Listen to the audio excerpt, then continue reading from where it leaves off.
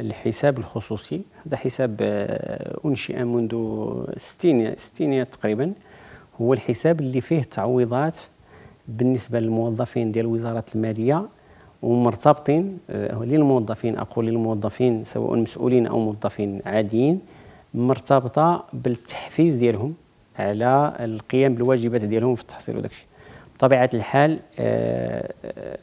الإشكال اللي هو مطروح أساسا. هو آه هذه القضية اللي قلت ديال المعايير. كانت هناك معايير سابقة حول الطريقة ديال ديال التوزيع.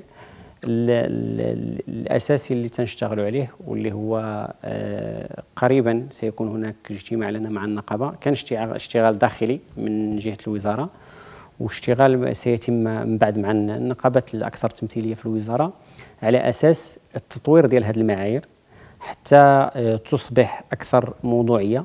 المشكل هو التفاوتات.